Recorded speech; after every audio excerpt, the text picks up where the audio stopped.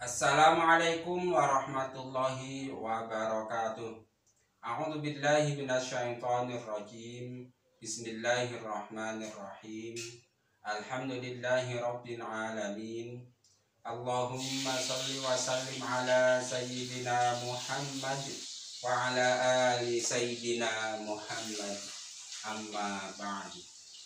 Kaum muslimin rahimakumullah, marilah kita sama-sama melanjutkan belajar membaca kitab hikam karangan Imam Ibnu Athaillah As-Sakandari. Kali ini kita sampai pada hikmah nomor 67. Pada hikmah nomor 67 ini Imam Ibnu Athaillah As-Sakandari menuliskan An-nuru lahul kashfu wal basiratu lahal hukmu wal qalbu lahul iqbalu wal idbaru. Cahaya memiliki fungsi menyingkat mata hati itu memiliki fungsi membuat keputusan dan hati itu memiliki fungsi menghadap dan berpaling. Kaum muslimin rahimakumullah. Jadi dengan kata lain, hikmah kali ini kita itu membahas tiga fungsi yang sering disebut-sebut dalam kitab hikam. Yang pertama an-nuru cahaya, yang kedua al-basirah mata hati dan yang ketiga al-qalbu atau ha, hati. Cahaya, apa fungsi cahaya? Nah, kalau kita ingat hikmah-hikmah sebelumnya bahwa cahaya yang dimaksud adalah nurun ilahiyatun cahaya ilahi atau mudahnya itu adalah cahaya Islam, cahaya hidayah. Dengan hidayah itu kita itu bisa memiliki kemampuan al-kasfu membuka rahasia menyingkat kesejatian sesuatu sehingga dengan cahaya itu kita tahu mana yang hak, mana yang batil, mana yang benar, mana yang salah.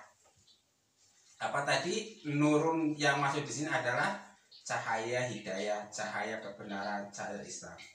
Tetapi kalau kita menilik penafsiran atau penjelasan dari Syekh Ramdan Al-Buti, nur di sini identik dengan akal manusia. Jadi cahaya ilahi masuk ke dalam akal manusia. Dengan akal itulah manusia kemudian membedakan mana baik dan mana bu, mana buruk.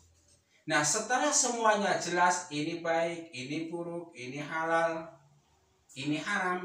Nah lalu sesuatu yang dilakukan oleh cahaya tersebut menjadi pertimbangan mata hati al-basirah untuk mengambil keputusan mau ikut yang hak atau yang batil, mau ikut yang benar atau yang salah.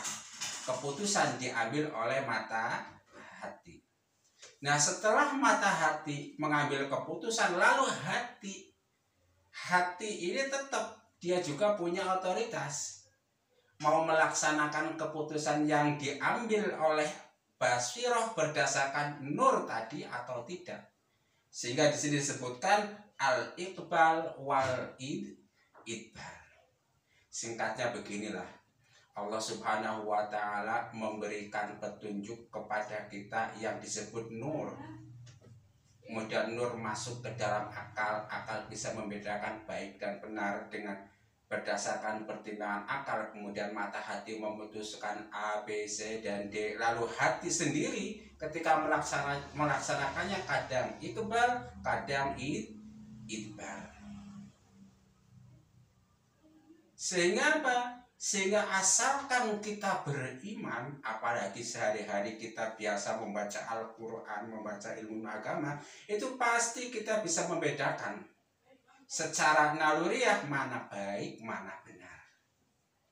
Tetapi terkadang, nah ketika kita sudah memutuskan suatu kebenaran lalu melaksanakannya, itu namanya ibadah. Hati melaksanakan.